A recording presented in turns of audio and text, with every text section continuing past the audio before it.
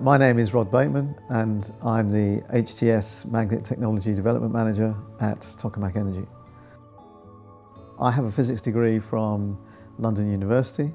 I also took a PhD at London University. That PhD was sponsored by Oxford Instruments and I worked for Oxford Instruments for 20 years.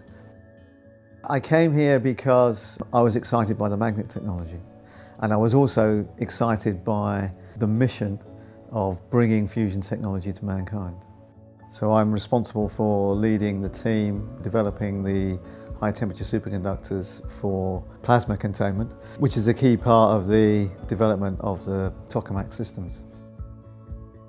It's very exciting to be working at Tokamak Energy in that technology because the way Tokamak Energy is funded means that we as engineers are largely free to focus on the development tasks that we need to perform.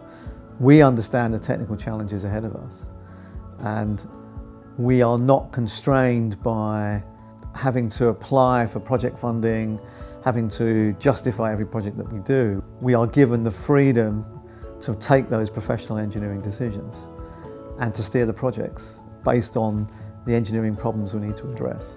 And that, for an engineer, that's very exciting. That's, that's a very good position to be in. That is the position you always long for, which is quite hard to find in, in many business, even technology development businesses.